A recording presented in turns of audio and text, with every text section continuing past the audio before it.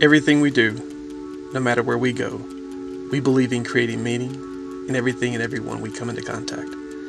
We recognize people as the most precious commodity. We believe in thinking differently.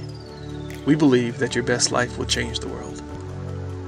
Your best life happens when a coach helps to create a space that is specifically designed for you and or your organization because you are unique, fearfully and wonderfully made. You matter.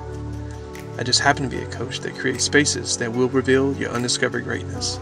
Hello, my name is JL and I represent Live Fearlessly. We're in the life business. Join us for the Let Go and Let Come experience, the transformation of self, society, and business. Letting go is hard to do.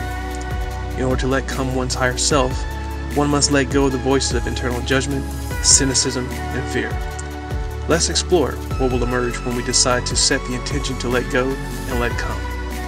This experience offers the refreshed sense of connecting with your higher self, a clearer sense of your life's purpose and vision, and a healthy mindset.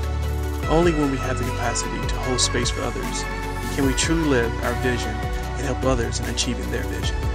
Live fearlessly and keep digging.